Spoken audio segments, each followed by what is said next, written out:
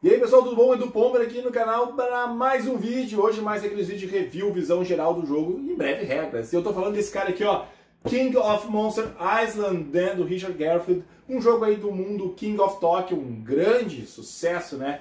E esse aqui é um jogo cooperativo de 1 a 5 jogadores, né? De um jogo bem familiar, é um cooperativo, um jogo bem family, como King of Tokyo, mesmo na linha, só que ele é cooperativo. Nós temos que destruir um monstro ali, e aí tem a fase do monstro, a fase dos jogadores ele tem uma coisa que para mim deu assim, ó, brilhou o jogo um pouco. Se não tivesse isso, não ia ser um jogo nada demais, que é a opção de tu travar dados, que é isso, deixar dados para a próxima rodada, seja para ti ou para um outro jogador. Isso deixa o jogo mais estratégico, mais divertido. Tem uma produção muito bacana, porque tu vai rolando os dados do monstro num vulcãozinho de plástico e papel que tem no meio, e ele se espalha pelo tabuleiro nas zonas, aí vai se mexendo pelas zonas ali. Né? Tem uma produção, os dados são bem feitos, o material bem feito. E eu acho que foi isso que deixou ele um pouco caro, né? Para um jogo familiar aí, acabou ficando um pouco caro na minha opinião. Mas quando eu joguei ele, inclusive joguei ele solo algumas vezes, achei bem legal, me diverti. Não sou tão fã do King of Tokyo, mas esse aqui eu achei bem legal. Acho que essa coisa de travar dados, deixou ele estratégico, me agradou mais. Acho que foi esse foi o Chuck que me deu esse jogo aqui. Então, galera, hoje eu vou mostrar assim, ó, vou falar do jogo, mostrar como é que ele funciona, sem entrar no detalhe da regra, para vocês verem se vocês gostam ou não do jogo aí e queiram adquirir a sua cópia. Chegou no Brasil pela Devir, então vamos lá conhecer então King of Monster Island.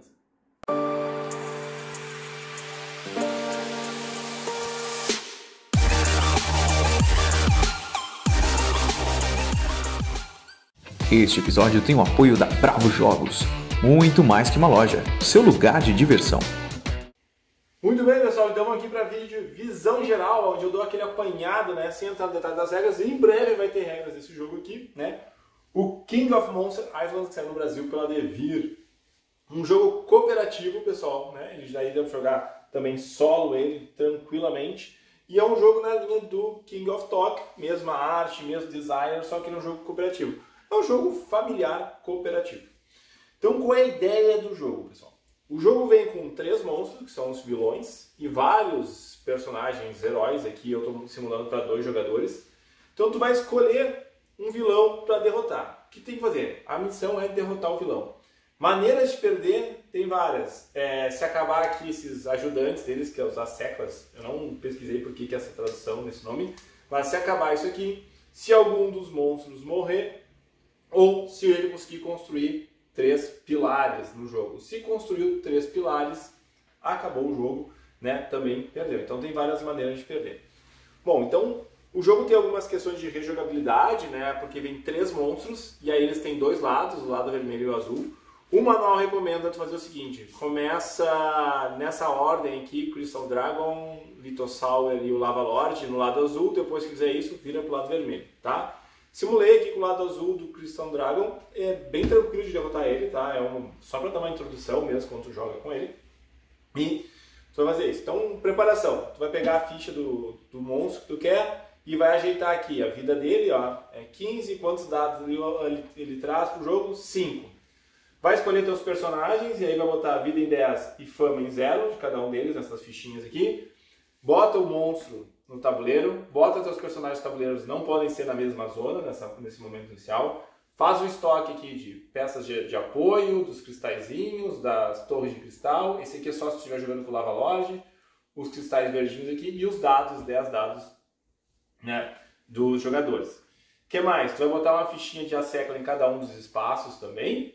E basicamente, aí obviamente, né, tem que montar aqui o vulcão, né, que esse jogo tem uma produção muito bacana. E também tu faz aqui o mercado de cartas, né? Tem as cartas de evento e as cartas de poder que tu pode comprar para ir dando upgrade aos teus personagens. Ah, e sim, aqui são os ajudantes. Existem aqui uh, seis ajudantes. Tu escolhe dois, uh, porque eu estou jogando com dois jogadores tu vai lá, escolhe dois ou saca dois aleatórios e deixa aberto aqui na mesa que esse aqui vai ser um para cada jogador, tá? Então, deixar isso aqui. E no verso tem um resumo bem importante, tá? Esse resumo aqui vai ser bem importante para os jogadores na partida. Então dá para usar, se não estiver jogando com seis, tu pode pegar e olhar o resumo ali, né, atrás para te guiar. E aí estamos prontinhos para começar. Como é a ideia do jogo, pessoal? No teu turno tem a fase do chefe e depois a fase do monstro. Então, resolve a fase do chefe, faz a fase do monstro e aí passa para o próximo jogador e assim vai. Vamos lá. Fase do chefe. Confira os poderes ativos do chefe. O que, que é isso? O chefe normalmente ele tem um poder já ativo de início de jogo, que é ó, punho afiado. Antes de mover, eu causo um de dano para os monstros com os quais uh, com mais coração nessa zona ou em zonas adjacentes. Então, se ele estiver aqui, ó, ele já causa dano nesse cara antes de se mover. Conforme, aí eu vou explicar, conforme eles vão ganhando fama, eles vão abrindo, abrindo outras habilidades. E aí tem várias habilidades, né? E elas mudam aqui, quando tu muda para o lado aqui, elas podem mudar. Então tem que olhar, tem que olhar quanto de fama tem o monstro, se ele já ativou e elas são cumulativas, né? Se ele tiver uma, ele, ele ativa essa aqui, 5, 10 e assim por diante. Então tem que olhar os poderes dele. Olhou os poderes, tu vai rolar os dados, essa parte é muito legal. Tu vai pegar todos os dados vermelhos que estão fora do tabuleiro, tá? Então pode acontecer de não ter dado vermelho fora do tabuleiro, e aí vocês vão entender por quê. Mas aí tu vai fazer o seguinte, ó, tu vai largar eles aqui, ó. Largou aqui, eles vão cair. Se caiu fora, tu vai lá e rola de novo. E repara que eles se espalham, né? 2, 3, 4, 5, estão todos. Se travar no... aqui, tu também dá uma rerola ele. E aí eles se espalham nas zonas, né? Como vocês podem ver, ficaram dois naquela zona, um, um, um aqui e assim por diante. Feito isso, a gente vai movimentar o chefe. E aí, para movimentar o chefe, existem algumas regras que a gente tem que cuidar. Muito bem, pessoal, como é que tu movimenta? Primeira coisa, primeiro critério, tu vai movimentar o chefe para a zona que ele está ou para adjacente que tiver mais dados. Repara, ela, ela pode ser inclusive a zona que ele está. Nesse caso vai ser bem interessante explicar, mas se tivesse assim, ó, automaticamente ah, a zona que tem mais dados é aquela, ele vai para aquela ali, tá? Quando ela está empatada, tu vai ter que olhar aquela que tem mais ajudantes, as séculas. Daí tu vai olhar, aqui está empatado de novo, se tivesse assim, ele fica na zona dele e tu trata como se tivesse se movido para lá agora. Esse é o critério de desempate. Mas nesse caso aqui, ó, como está tudo empatado, tu vai mover ele para a zona mais distante no sentido horário. Então ele se movimentaria para cá, nesse caso. Se não tivesse nenhum dado nas, nas zonas, ele simplesmente se mexe no sentido horário. Tá? Então são os critérios. É a maior quantidade de dados, depois se tem empate, vai para as séculas, se tiver empatado, tu mexe no sentido horário, se não tiver dado, tu mexe no sentido horário. Parece um pouco confuso a primeira vez que eu joguei, mas depois tu vê que é bem fácil, assim, é bem rápido de tu pegar isso do movimentação do chefe. Muito bem, moveu o chefe, agora a gente vai ativar os ajudantes aqui, os asseclas, tá? Basicamente, são três tipos que tu ativa. Esse escudo aqui, que é esse carinha, tu não ativa, ele é uma defesa. Então o que nós temos? O soldado, ele causa um, um, de dano aos monstros na zona, aqui no caso não teria, né? Se tu tiver um canhão né, na zona dele, ele vai causar um dano de todo mundo. Então ele dá tiro em todo mundo aqui, vai causar dano em todo mundo. Esse carinha que é o cristal, ele vai botar um cristalzinho aqui, ó. Pá, botou um cristalzinho aqui que, que acontece? Se tu botar o terceiro cristal, for ah, coloquei o terceiro cristal, aí tu construiu um pilar. E se tiver uma peça aqui de reforço nesse pilar, por exemplo, eu vou colocar aqui, e esse pilar está aqui, essa peça de reforço está aqui, eu descarto ela, ela sai de jogo, já vou explicar como é que funciona isso aqui, e aí esses cristalzinhos aqui tu pode descartar, tá? Lembra, construiu essa terceira, tu perde o jogo, tá? E por último, tu vai ativar os dados, tá, pessoal? E aí, o que, que os dados fazem. O símbolozinho esse do ETzinho é os asseclas, então tu vai convocar uma secla, então aqui, por exemplo, ele convocaria dois. O que, tu vai fazer? Tu vai lá na sacolinha, mete a mão lá dentro, puxa dois e coloca aqui. Lembrando, acabou na sacolinha, perdeu o jogo.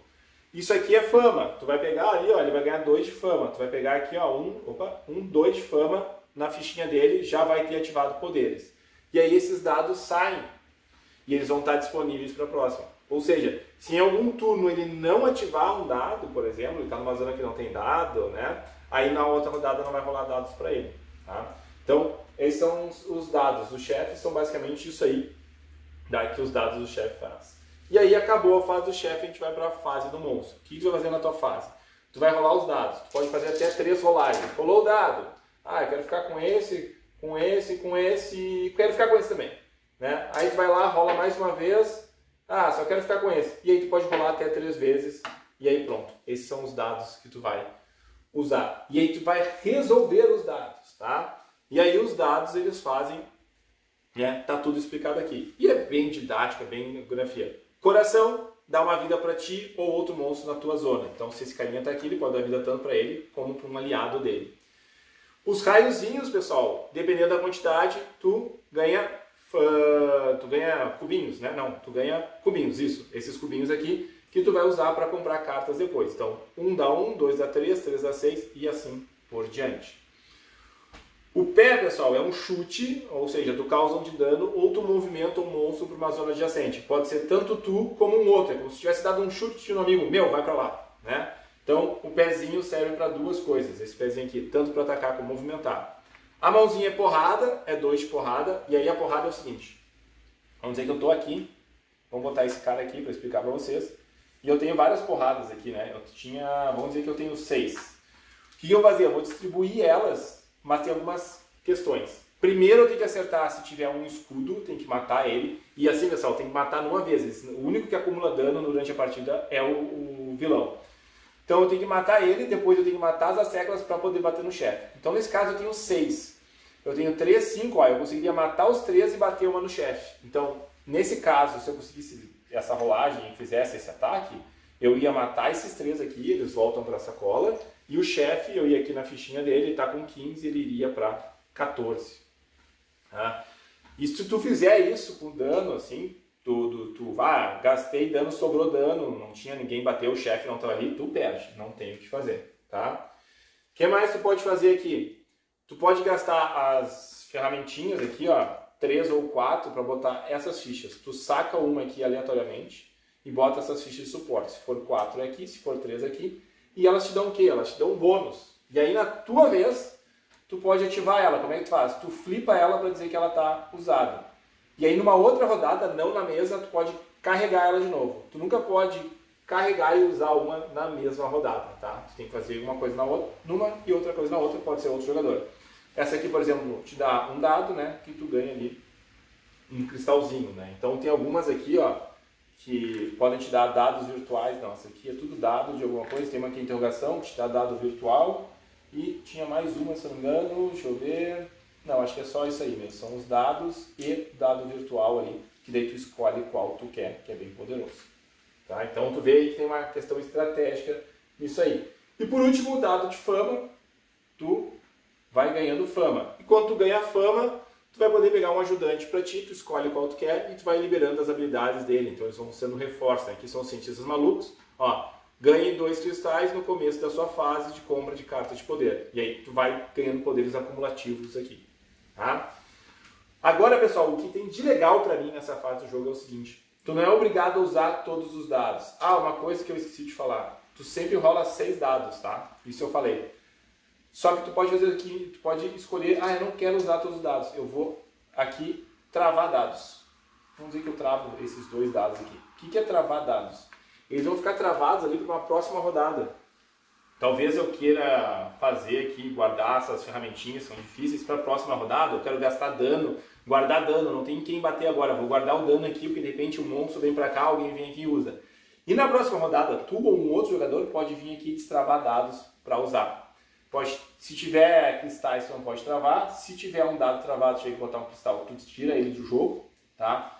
Mas isso é muito estratégico, porque daí tu pensa assim, ah, eu joguei, mas o meu amigo vai vir ali, agora eu não posso gastar, deixa esse, esse dano aqui, daqui a pouco eu dou uma porrada muito forte, ou vamos economizar para conseguir mais cristais uma outra rodada, para comprar cartas melhores, não sei, mas isso que eu acho que deu diferencial nesse jogo é essa questão de travar os dados que aí tu pode planejar jogadas à frente, tu às vezes consegue fazer uns danos muito legais, tá?